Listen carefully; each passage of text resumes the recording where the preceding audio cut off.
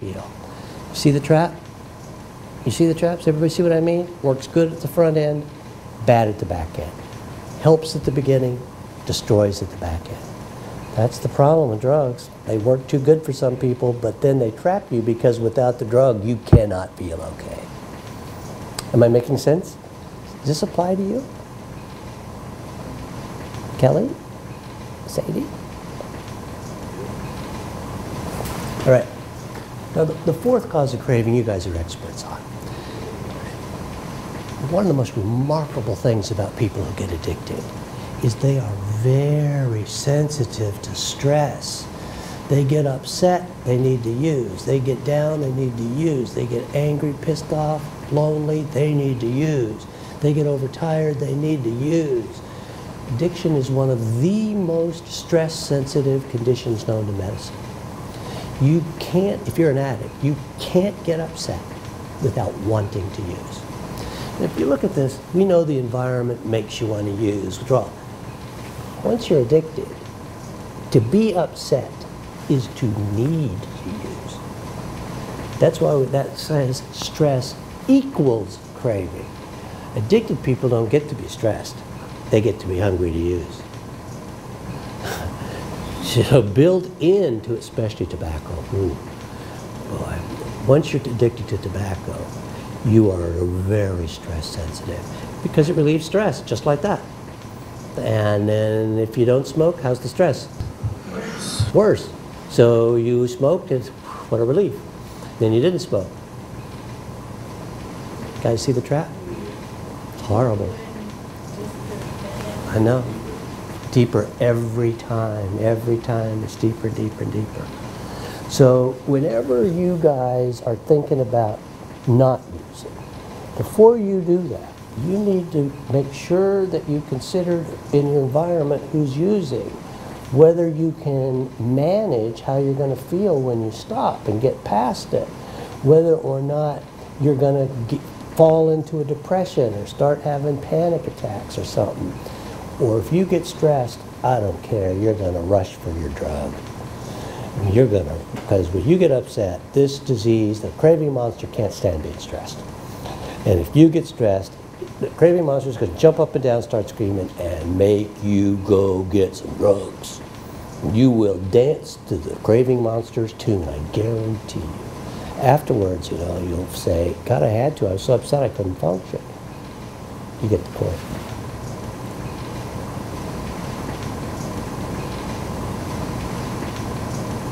Okay, why don't we take a, I guess we have a couple more, so I'm going to take a break uh, for a couple minutes, but let me just finish these few slides. Question comes up. Let me give you some numbers first. In America, 94 out of 100 people try things that are known to cause addiction. In America, almost everybody is at risk for becoming addicted because almost everybody at some point, usually it's adolescence, you know, teenage years, but everybody tries something, tobacco, weed, something. If you follow that group of people, 94 out of 100, all of whom tried a substance that can lead to addiction, if you follow that group, what you'll see is, is that only about one in five of them ends up addicted. So everybody tries it, but only one in five gets the disease. Is that just bad luck? Or is there something about the people who get addicted compared to the ones who don't? Let me answer the question. There are definitely very obvious, obvious reasons why some people get addicted and others don't. And one of the things that if you're going to be teachers to other people to explain to them what addiction means, everybody needs to know whether or not they're one of the people who's going to get it if you do it. That's critical. How do you know if you can get it or not? Well, if you look, everybody who tries the drug, if they do the drug right, they like it. Like, ooh, this feels good. The next time they do it, let's say, let's say that you're a shy girl and you know, you don't know a bunch of people, get invited to a party and you're kind of shy. Someone gives you, say, a drink and your shyness goes away. Right? That's what that'll happen, right? If you if you're shy, you go to a party, you have a drink, you're not shy anymore, you're the life of the party, you're giggling and stuff. What are you going to do the next time you go to a party? You're going to want to find it. You're going to look for the person who has something to drink so that you can relax. Now, something happens between wanting it and needing it. Danielle, what happened? You don't just want it, you need it just Why? What happened? Nick, what happened? You grew tolerant. You get tolerant. Once you're tolerant, you need it. You are depending on it. You can't function without it. So the magic line between wanting it and needing it is when you get tolerant. Because now, in addition to liking it, there's something else pushing you. What is it? The way you feel when you stop. And it gets worse, and it gets worse, and it gets worse. The saddest thing is, you eventually reach a point where you can't go to a party. You wouldn't even think of going to a party unless you got something to drink first. You require it to function. You're completely dependent. So this is the magic line. Now, if I was watching somebody, we would see they're getting more and more out of control with their use. Used to be she'd go to a party and, you know, she'd have a beer. You know, three months later, you know, she's packing away a sixer. Um, her use is getting more and more out of control. What we now know is if we could measure it, every time she went sober, she'd go to the party, how would she feel at the party? Bored. Bored. God, these people are jerks. God, I hate being around partiers when I'm not partying. these people are so stupid. I need to get stupid too. So you get out of control, and when you're sober, you feel worse and worse and worse. This is a trap. This is the trap we're talking about. Now, here's a question that we're going to look at before we take our break. Everybody who gets addicted had to overuse drugs first. Is that clear? The, to get the disease, you had to overdo it to injure your brain chemistry. So everybody who's an addict was first a substance abuser. And that meant, usually for alcohol, that means they drank more than three out of seven days. They smoked more than three out of seven days. They used.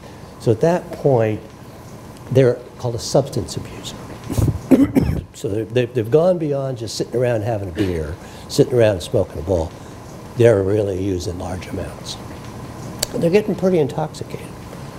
Now, we know that they turn the corner into addiction when they get tolerant, they need more to get high than they used to. And you said it a minute ago just right.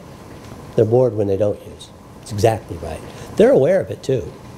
They know it.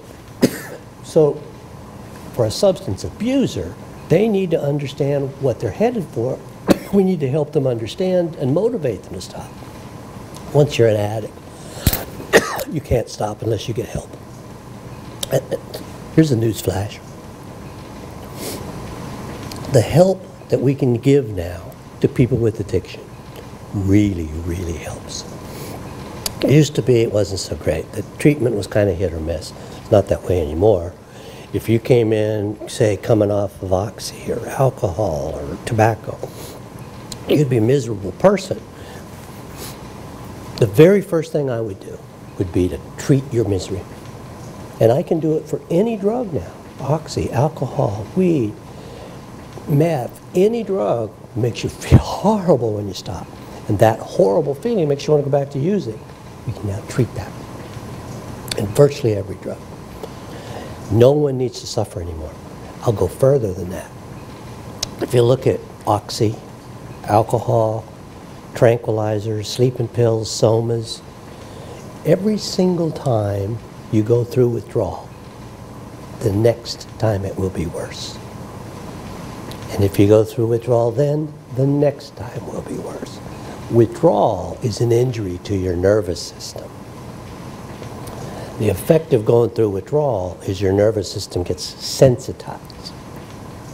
And the effect of being sensitized is that withdrawals get worse and worse and worse. What was the worst, fir- first couple times you ever went through withdrawal? Was it a big deal? Is it better, the same, or worse after more withdrawals? I think it gets a little bit easier because you know what you're not supposed, even if it's gonna be So you have an idea of where it's going to be. probably in the beginning it's not so hard because you're not like you don't need as much because you just started, but then later on down the road you need more and more, so it gets way hard. And then what happens when you stop? Is what, have you, uh, uh, here's the question. Scientifically, we know that withdrawals make withdrawals worse. Have you seen it? That's the question. If you've seen it, you're just saying what science knows. I mean, most addicts have figured this out. Uh, the first few times they stop, no big deal. But unfortunately, if they go through that withdrawal without help, without medicine, they're actually injuring themselves. So that the next time they stop, it'll be so much worse. And after that, it'll be much worse. Eventually, I don't know if any of you guys have seen it. You, you know people who, who refuse to stop. They just can't stop. They won't stop because they can't go through it again. They won't go through it again. To me, to me, that's very sad because we can prevent sickness now. And I know kids all over the place who won't stop, can't stop because they're not going to go through that again. Have you heard people talk like that? I have.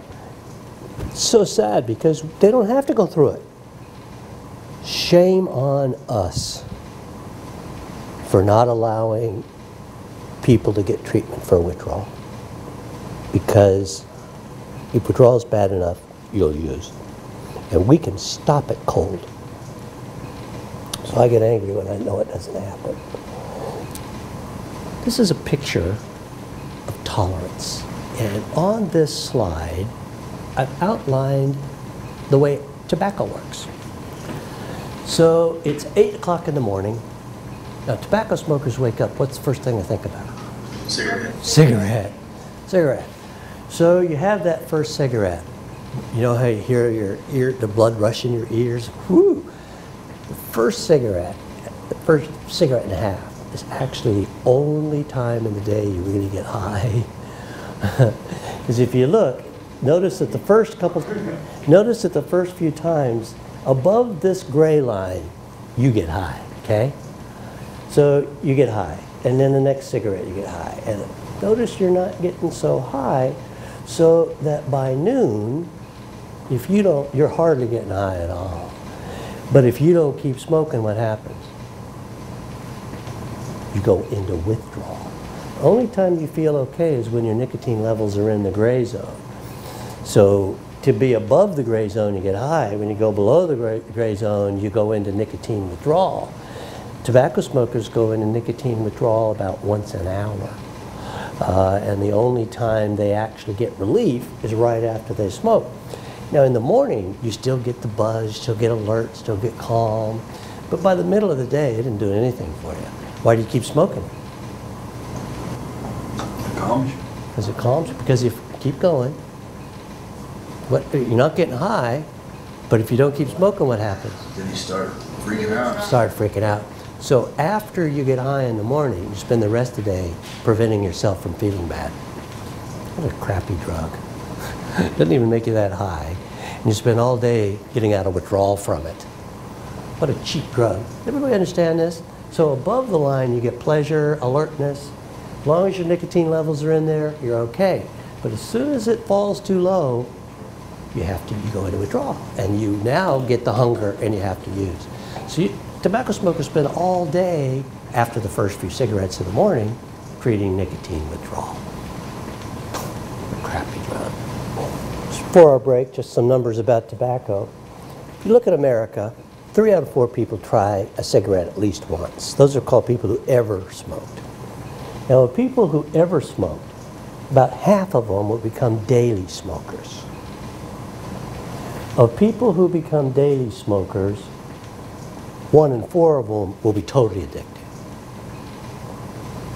If you take people who become daily smokers and people who are addicted, half of them will die of tobacco. It's one of the most fatal addictions. Kills about half the people who get it. So this is a bad disease. It's the most common cause of preventable death in the world. Uh, it used to be just in America, but the tobacco companies are now selling tobacco all over the world. And it's the fastest rising addiction in the world. It's the most fast rising cause of death in the world. So of people who try a cigarette, about half of them will, will die from tobacco. Yeah. How come females lose more years than males? Good question. I'm not sure I know the answer, but it's true. Female smokers get sick sooner, they get worse sickness, and they die more soon than male smokers do. It's true with other drugs too that there are differences between males and females and who gets the worst case. But women shouldn't smoke because they're far more likely to be unable to get off. If you look at treatment of addiction for tobacco in men and women, women do much less well. Now, that's not to say that we can't do it now, now that we know the reasons for relapse. Okay, Danielle, okay. Nick, you tell me. Let's suppose someone's a nicotine smoker and they want to stop. That's because, let's say they went to the doctor and the doctor did an x ray and saw something on their lungs and, God, maybe it's cancer. That person needs to stop, right? We know there are four things that will make him keep smoking being around it, withdrawal from it, a mental health problem like boredom or depression or anxiety, or getting stressed out. How would you help them? Give him a cigarette. How about if you wanted to help them not die? Anybody, what would you do? Not smoke around them. You wouldn't smoke around them. Good for you, man. That is an A plus. The nicest thing. No, wait a minute. The nicest thing. Wait a minute. The nicest thing you can do to somebody trying to stop. Don't use around them. I mean, that's kindness. I'll give you a hint. You can tell a real friend. You know a true friend. A true friend wouldn't hurt you. And if someone is, you're trying to stop and someone's offering you their drug, I don't care, I don't care, I don't care what you say, that is not a friend. I don't, that's not a friend. That's what we call a drug friend. and they're not the same as friend friends. The real friend wouldn't hurt you. So if you want to know who your friends are, in one question you say, would you please not smoke around me? I'm trying to stop. And someone who cares about you, loves you, honors you, holds you in their heart, they won't smoke around you. They're trying to help you. Someone who doesn't have that value of you, they could care less. They will hurt you because the main reason why you won't stop smoking is they're puffing on it in front of you. So you can sort your friends right away. That's a good answer. I mean, it's a, so the first thing that someone has to do to stop smoking is don't be around smokers. Your parents smoke? Your parents smoke? Kelly? Your parents smoke? Your parents smoke? Your parents smoke? Chances of you getting off tobacco just fell about 50%. Okay, so um, Nick, I'm your dad. You just got found to have an x ray with possible cancer. You need to stop smoking, right? Right? I'm your dad. Hi, Nick. How's school? Great. Yeah. Want a cigarette? Could you get my matches for me, dude? Could you get my, ma- could you get my pack of cigarettes for me, man? You can have one. I mean, just take one off the top. Don't tell your mama. Could you get, get me a cigarette? What are the chances that he's going to be able to get off tobacco? Very poor. Okay, your life depends on it, Nick. Your life depends upon you not smoking. Got me? Okay, yeah, I'm your dad. Hi, Nick. What's up, Dad? Hey, Nick. My cigarette, dude? No, I'm okay. I might have cancer. Big deal. we ought to go sometime, dude, you know. I don't think about it myself. What does he need to do? Can you please not smoke around me? That's what he needs to do. Javier got it right. It's the hardest thing in the world to do. It may be the hardest thing you ever do in your life. You need to be able to say, I love you, I care about you, you're my dad, I want to be in a family with you. If you really, really care about me, please don't smoke around me, please, please. And if he loves you, he'll honor that. It won't be easy for him. But if he loves you, he'll understand that, God, he's going to have to do his part. And that's how you know who your friends are. I swear to God, that's right off the bat, you will know who's going to help you and who isn't going to help you. That is exactly the right answer. You got it. Want a job? We have a counselor in my office. All right, why don't we take a break? And when we come back, I want to teach you guys how to tell where you are in the process. There's a very simple experiment that we can teach you to do. And if you're going to be teachers of other people, because I'm asking you to be teachers of other people whom you know, you need to know how to teach them to do an experiment that will tell them if they're addicts or not. Okay? All right, Opie. Okay, what I want to do is start this section with uh, by introducing you to somebody who has serious addiction, who's late in the game, who has really had what we call adverse consequences. Um, and uh, she's going to summarize basically some of the principles. Now, as she's speaking, I want you to look at why she kept relapsing. What are the four causes of craving? What are the four letters that EWMS, exactly right. The environment, withdrawal, your mental health status, and stressors. So Allison is going to discuss briefly her addiction. And she, while she's talking, I want you to listen to the factors that got. Okay, here's how I think about it. There's two things I want you to leave to, with today. One is what gets people addicted, and what keeps them addicted. What gets them addicted is called the BIPSM, BPSM, the biopsychosocial model. I'm going to teach you that now. What keeps a person addicted is the things that bring on craving. So once you've got the disease, the disease persists because of the environment, because you can't get past withdrawal, because when you stop you get blue or anxious or anxious or whatever, or you're doing okay and you get completely stressed out. Uh, so as she talks about her addiction briefly, I want you to kind of look at it because here, here's the task that I'm giving you.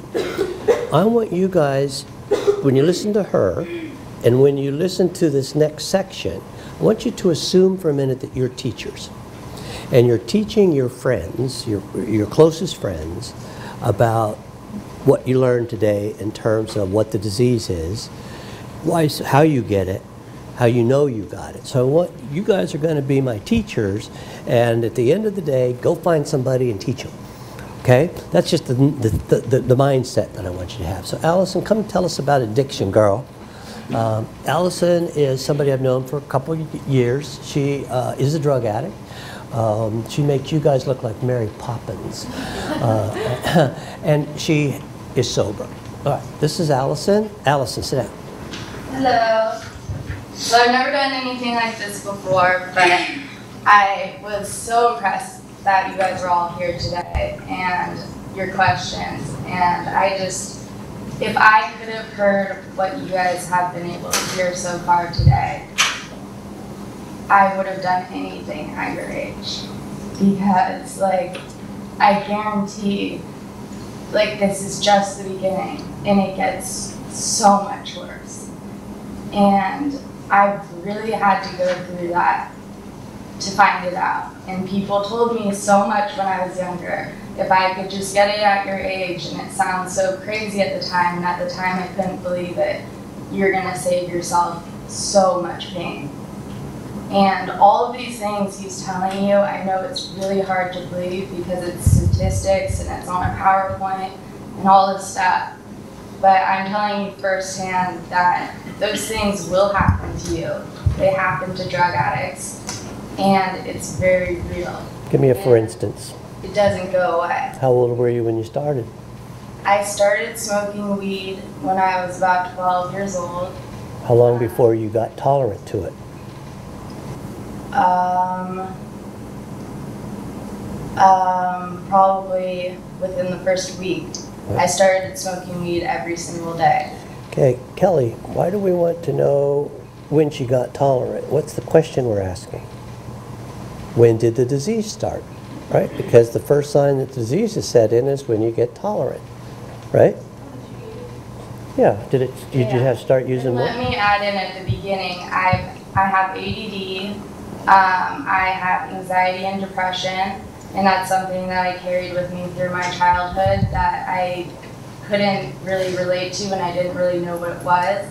I knew that I wasn't happy and I knew that I didn't feel like most kids did, but I couldn't identify what it was that didn't make me feel like everybody else. What's your point? What's that have to do with drugs? So That is what basically made me more prone to the disease. I started off not at the normal rate, and I went to go find drugs that made me feel better, not which helped the problems that I had um, with my with my anxiety, my depression, my ADD temporarily. But in the long run, they obviously made it a lot worse. And when I tried Did you guys hear what she said? She said when she first started using it, the anxiety and the ADD were improved. That's what a lot of people, when they first start using drugs, experience. They don't like the way they feel. She didn't know she had anxiety and depression. No one told her. She just knew she didn't feel like other kids did. But when she started using drugs, she found that those symptoms were much less. So basically, Now, wait a minute. After you found that it helped, what happened when you tried to stop once you got tolerant? I felt much worse than I ever did in the beginning. And at that point, I had ruined so many relationships and caused so much trouble by lying and um, treating the people that I cared about the most and the people that were trying to help me so badly that I had almost dug myself into a now, much the- bigger The second sign that we know, so first is she can't control her use. The second sign, what's the second sign we know someone's addicted? Kudak. So what she just c- continued use despite adverse consequences. What she just described is a whole pile of adverse consequences. She burnt, she burnt out her relationships with her family, her friends, her school. She got, she went down the tubes. So the adverse consequences really piled up. Did the adverse consequences stop you from using? No. No. Did they backfire and make you use more? Yes. That's the problem. Stress equals craving. So as she got more and more upset and more and more trouble, instead of the trouble helping her stop, it freaked her out and made her use more.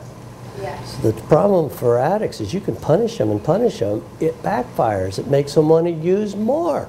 And the thing that's so different about this disease is that so many people are so uneducated about it. And it's so hard because people look at this as a personality, you know, a failure, that you don't care about anyone, that you're not strong enough, that you don't have the willpower.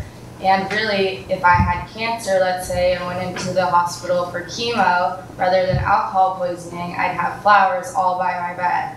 And people would be sympathetic and understanding, and they would be there to help me. But people were so unable to understand it, especially my family, because there, as far as I know, there isn't much addiction in my family that I know of. They were so, they weren't able to understand it. Okay, well, let- let's interrupt you there because I think she inter- introduced our next topic. Let me just start from there. Thank you. What she just said is that, what she just said is, Is that it? That's it. What she just, what she just said is there's not a lot of addiction in her family. She also said that she had had problems with depression and anxiety and a diagnosis of ADD. And yet, without and so somehow or another, the notion here is that something about her background made her more at risk for getting addicted. If we go all the way back to the very first slide, to the pleasure scale, she was born with ADD. ADD means you're born bored. Any of you have been given a diagnosis of ADD? Uh, people with a family history are born bored. There's two reasons why a bored kid gets into trouble with drugs. Who can tell me what they are? Here's Allison. She's 11. She's bored. Someone gives her a joint. What's different about Allison than somebody else? Here's the normie. Here's the bored kid. They both get offered a joint. What's the difference in how they feel? Nick? One has ADD and the other one doesn't. Yeah, and? Can you guys see? Yeah. starts out lower on the scale already than the other one does. So when she uses, they both get high, but this one gets unbored. One of the first ways we know someone has the gene for addiction, inherited the risk for addiction, is it takes them more to get high. You know those people who say, I'm not an alcoholic, I can drink you under the table, I'm the last man standing, you know, I can really hold my liquor. Too bad, because that means that their pleasure system needs more to get going. So we can often tell when people first start. You know those guys who you, you're gathering around the bowl, the guy who does two thirds of the bowl and everybody barely gets a hit? That's the one who's got the gene for addiction. takes him much, much more to get high uh, than it does the other people. So the first reason why Allison would get in trouble compared to the normie, Allison took more to get high, but they both got high. But in addition to getting high, she got unbored. She also said she had depression. Well, if this was a depression scale instead of a ple- pleasure scale, she would be depressed. And when she used compared to a normie, she gets undepressed. Can you see she's going to like it more? Do you see that? Okay. Danielle, what happens when both of them stop? No, Kelly, you got the answer right off the top. What happens when both of them stop? She started lower than this one. She goes lower. She goes still lower. They both go lower. She drops faster than normal. Yes, she does. So the normie gets bored. The kid who was bored to begin with gets dysphoric. As bad as you can feel. Do you see what's happening here? So if this was anxiety compared to a normie, the normie gets high, the anxious kid gets high, but the anxious kid gets unanxious. Here's the tragedy. It's so sad. That original symptom always comes back worse. It always comes back worse, which means you are now trapped. That's, that's what I was trying to explain this morning. With me? So she said several things that I want to revisit. Uh, here we go. Now, you're my teachers.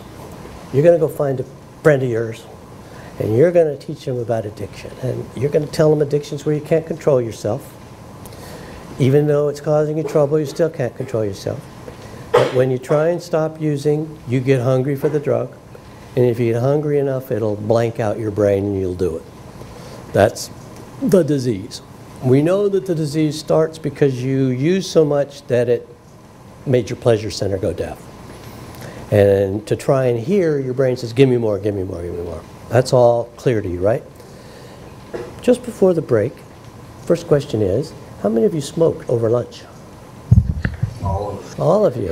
Uh-huh. So after a great discussion of how many people are going to die on tobacco, I managed to stimulate a bunch of cigarette smoking. now, of the, of the four causes of craving, environment, withdrawal, mental health, and stress, which of those four things made you go out and smoke? Withdrawal. And it's stressful going through what you're going through. And, you know, I've given this talk to cancer patients. And in the break, they're rushing out and clouds of smoke are rising over their heads. You know, and here they're cancer. So the first question you need to know is, are you one of the one out of five who can't use drugs? Everybody tries drugs. Only one in five get nailed. Are you one of the one in, one in five? Well, there's now a good way of determining if you're one of the one in five that can't stop. It's called a BIPSM, B-P-S-M, say it. BPS. Stands for Biopsychosocial Model. What it means is, some of the reasons why some people get addicted are biologic, the way their body was put together. Some of it is their psychology, if they're depressed or anxious. Some of it is if they're around smokers, using it, their social environment. So you put all these together and you can decide whether or not the person you're teaching, or you or somebody else, is at risk for getting the disease. Now, once you get the disease, humus keeps it going. The environment, withdrawal symptoms, your mental health picture, and the stresses, just like lunch. So this is pretty much everything you need to know about addiction. Want you know what it is. I want to see if we can figure out why some people get addicted and others don't. So this is an example of what's called the BIPSM, the biopsychosocial model. The idea is, is that most people who get the disease have a risk factor. That's what's meant by predisposition, or something about them that's different than other people. And that difference responds to drugs. That difference is fixed by drugs. That difference, that predisposition, is something that makes drugs work too well for them. They like drugs more than other people because of a risk factor. Of all the risk factors in the world, seven out of ten addicts have one risk factor in common. What is it? What's the most common reason why someone gets addicted but other people don't? History. That's the answer. This is an inherited disease. This is like diabetes. You know diabetes runs in families, right? Pretty much similar to this one. Most people get addicted because of they inherited the predisposition. And we know that you get predispositions through the genes. So the question is, what does the gene give you? How do we know if someone has the gene? What does the gene make you feel like that makes drugs work too well? You with me so far? Other words, the question we're asking is, if you inherited a gene, why does that gene make you like drugs too much? You- you- so- Is that question clear? So the number one risk factor, and this accounts for about 70% of people who get the disease, have a family history, people in their parents, grandparents, uncles, aunts, cousins, who have the disease. The more people in your background with the disease, the more people with bad disease, the more likely you're going to get it, and you're going to get it bad. Don't you wish somebody would have told you that? I do too.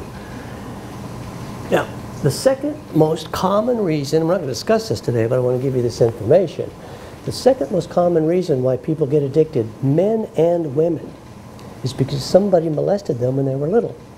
And we know that if a kid has sexual contact